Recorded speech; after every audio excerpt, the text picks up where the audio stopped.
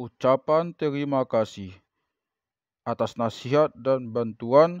Terima kasih kepada Sarai Aharoni, Dorit Aharonov, Amos Avizar, Savir Barzilai, Noah Beninga, Tirsa Eisenberg, Amir Fink, Benjamin Z. Kedar, Yosi Mauri, Eyal, Eyal Miller, John Parcel, Samuel Rosner, Rami Rodsol, Rodlos, Rami Rod, Rotols, Over Steinitz, Michael Senkar, Idan Serer, Chaim Watsman, Itzik Yahav, Guy Zaslavski, dan semua dosen serta mahasiswa pada program World History of the Hebrew University of Jerusalem.